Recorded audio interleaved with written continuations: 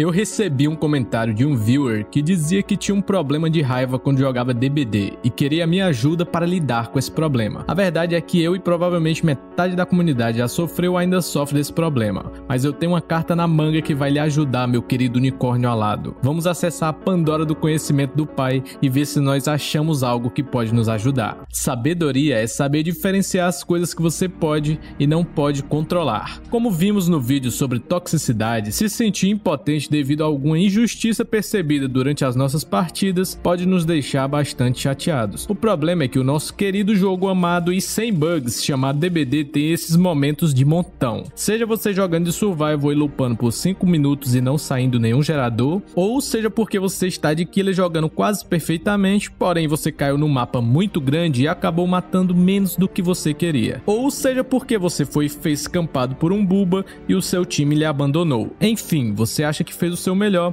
mas por algum fator externo você ainda assim perdeu. No DBD, essa lição do estoicismo é necessária. Se você se focar apenas no que você não pode controlar, você vai ter mais chance de ficar chateado e vai ficar preso nesse ciclo vicioso. Mas e se você se focar apenas no que você pode mudar? Não só a sua reação vai ser mais saudável, como você também vai ver o que poderia fazer melhor e vai voltar preparado da próxima vez. A puta que te pariu, Profits. Tu não vai meter essa frase de filosofia para ajudar o brother, não, né? Fala para ele xingar os caras. As suas relações fazem ou destroem você. Digamos que você tem um grupo de amigos e eles o tempo todo são negativos. Constantemente se xingam e xingam o adversário. Você tem muito mais chance de absorver alguma parte da negatividade deles estando em contato com eles do que se você só encontrasse eles numa partida no chat e eles te xingassem por mensagem. Estou dizendo que você deveria abandonar os seus amigos por serem negativos? Não. Você pode tentar ensinar eles a mudarem de atitude ao agir positivamente e os colocando para cima sempre que possível. Jogar com pessoas que se divertem jogando te ajuda a também se divertir jogando o mesmo jogo. Se for para escolher entre pessoas que te botam para baixo e pessoas que te botam para cima, a escolha é óbvia. Porém, mais importante ainda é sempre escolher ser a pessoa que bota os outros para cima, pois além de ser o certo de se fazer, você ainda vai acabar atraindo mais pessoas assim e possivelmente provavelmente vai contagiar até os mais negativos a se tornarem como você. Mas profits, os meus amigos bonzinhos são tediosos. O pessoal da bagaceira é nota 10 e acontece que alguns deles vão ser inevitavelmente negativos. Eu aprendi na matemática que dois negativos fazem um positivo. As suas emoções estão diretamente ligadas às suas expectativas. Digamos que você tem como expectativa vencer a partida, seja por escapar ou por matar os quatro sobreviventes. Caso você não escape ou mate só um sobrevivente, você vai ficar triste e talvez até fique com raiva. Um bom jogador de CSGO ganha a maioria das suas partidas, e com maioria eu quero dizer que eles ganham cerca de 60% de suas partidas, o que seriam 6 vitórias a cada 10 partidas em média. Isso é um número muito bom de win rate no CSGO, principalmente nos ranks mais altos. Porém, no DBD você pode ganhar umas 100 partidas seguidas se você jogar de certa forma e ter alguma sorte. Porém, ainda assim o jogador fica com raiva quando perde uma partida do seu streak de 100. Creio eu que o erro está em esperar que você vai vencer todas as partidas, quando matematicamente a probabilidade disso acontecer é nula. Então, o que você pode fazer com essa informação? Primeiro, você deve entender que você pode perder e tá tudo bem. E segundo, que se você mudar sua expectativa, você tem menos chance de ficar chateado. Você poderia considerar como objetivo tentar uma técnica nova toda partida, ou aprender a jogar com um killer novo, ou ficar um pouco melhor em determinado aspecto. Se você colocar objetivos mais fáceis de se alcançar, isso vai diminuir a sua fadiga desnecessária. Ah, entendi, Profits. Então eu vou sempre esperar perder as partidas para que eu nunca fique desapontado. Ou eu fico muito feliz que ganhei, ou eu fico muito feliz que estava certo. Muito obrigado, Pai Fits. Enfim, eu tenho outra dúvida, mas Pai Fits, eu chego cansado de um dia de trabalho e só quero jogar DBD e relaxar. Porém, estou sempre sendo destruído por jogadores tryhard que passam o dia jogando. Quero me divertir, mas eu não consigo. Eu perco todas as partidas. Então, entendo perfeitamente o que você quer dizer. Você só queria ficar de boa e é obrigado a tryhardar para ganhar. Mas e se eu te dissesse que você não é obrigado a nada? Você pode fazer o seu gerador, lupar um pouco, ou de killer tentar apenas levar umas duas kills no máximo, não tem problema. Como eu falei antes, se você se focar apenas em ganhar, você está sempre em desvantagem, pois os outros têm mais tempo para ficarem melhor que você. Tente ter outros objetivos como tentar uma build engraçada, sei lá, Burger King Blight, por exemplo, e talvez você se divirta muito mais. Mesmo perdendo. Ah, Pai Fitz, beleza. Então vou tentar jogar de buba no porão.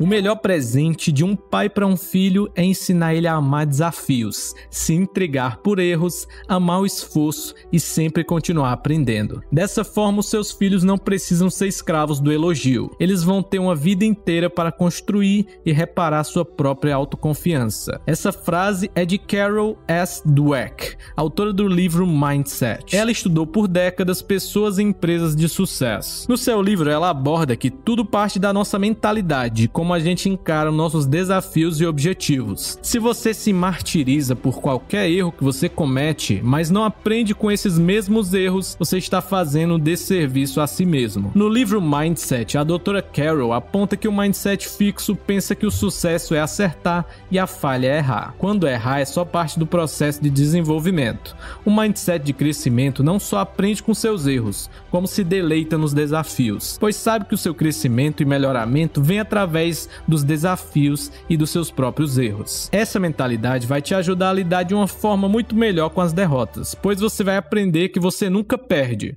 você ganha ou você aprende. No livro Os Irmãos Kazaramov de Dostoiévski, ele escreve que, sobretudo, não minta a si mesmo. Aquele que mente a si mesmo e escuta a própria mentira vai ao ponto de não mais distinguir a verdade nem em si e nem em torno de si. Perde, pois, o respeito de si e dos outros. Não respeitando ninguém, deixa de amar. É muito para desempacotar, mas como diria Jack o Estripador, vamos por partes. Nós podemos trazer o conceito dessa frase pro DBD quase que perfeitamente. A comunidade criou um montão de regras de como você deveria jogar o jogo. Muitas regras que as pessoas pregam e nem mesmo seguem. Muitos consideram errado dar teabag, piscar lanterna, tunelar, campar e até usar certas perks do próprio jogo. Muitas brigas bobas são tidos entre estilos de jogo diferentes, seja porque você acha que o jogo deveria ser jogado de uma forma ou de outra. Muitas vezes nós jogadores de DBD achamos que a nossa opinião é a única que importa. Alguns até tratam a própria opinião como lei.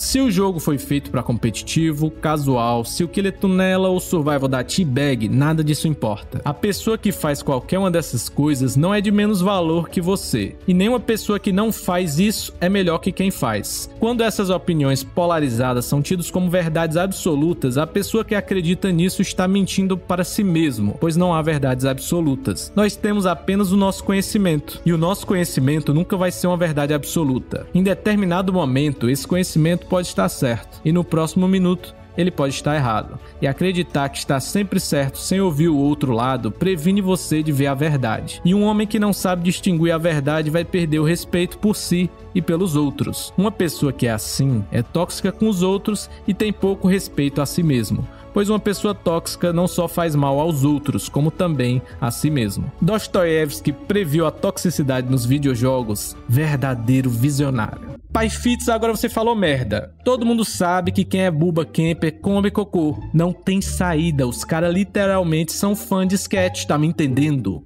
Quem pensa diferente é corno. Recentemente eu aprendi que mudar a forma que você joga é essencial para o jogo se manter novo. Primeiro eu fui de um jogador imersivo para um jogador que lupa, e eu amei totalmente o aspecto das perseguições. E depois que o jogo ficou monótono, eu fui aprender a jogar de killer e vi que é um mundo completamente diferente. Existem tantos killers para aprender e masterizar que o jogo pareceu novo. Depois de aprender a jogar com alguns killers, eu comecei a utilizar builds diferentes e novas, e cada vez que eu mudo o jeito que eu jogo, o jogo fica novo e divertido novamente. Eu recomendo totalmente que você faça o mesmo. Acabou as frases de filosofia, profitos. Eu tenho uma.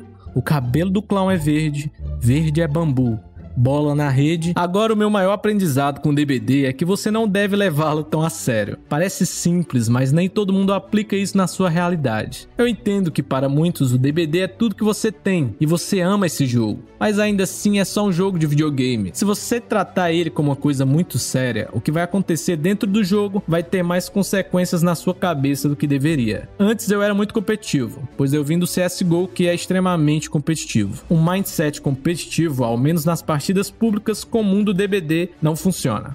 você vai ficar bem decepcionado e provavelmente vai ficar mais emocional do que deveria. É normal ficar um pouco chateado com o jogo, até porque ele é naturalmente desbalanceado e possui vários bugs. Porém, não deixe isso abalar o seu humor. Simplesmente não vale a pena. O jogo é ótimo e eu também amo ele, mas não vale a pena ficar brigando com outras pessoas por causa de um joguinho, por mais que você seja apaixonado por ele. Se você está jogando Dead by Daylight todos os dias, anotou todas as dicas do seu amigo Profits, tentou aplicá-las na sua vida e não deu certo.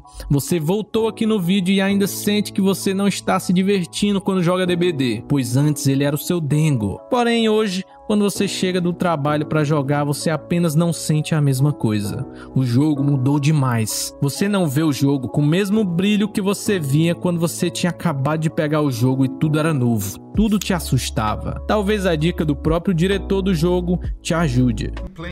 Killers uh, was fun a long time ago, but now it's only stressful. That's an opinion, a valid opinion, but that's an opinion. I used to love playing as a killer, win or lose, it was fun, but currently, no matter what, it's just filled with stress and anger. Killers aren't feared anymore. Uh, do you have any plans or ideas how you would like to improve the killer experience? Well, I, I would say maybe try Survivor for a bit. Uh, no, it's true. I mean, change it up. Maybe you're just tired, you know, or play something else for a, a week. Try Civilization or something, just for a refreshing change. Uh, balance is. Uh, um, I shouldn't be saying that. Should I be saying that? It's a good game. Just play that. No, Bjorn is telling me I shouldn't be saying that. Okay. Uh, e é isso, boys and girls. Só não esqueça de comer seus vegetais, beber sua água e nunca deixar de ser essa pessoa maravilhosa. Eu vejo vocês no próximo vídeo.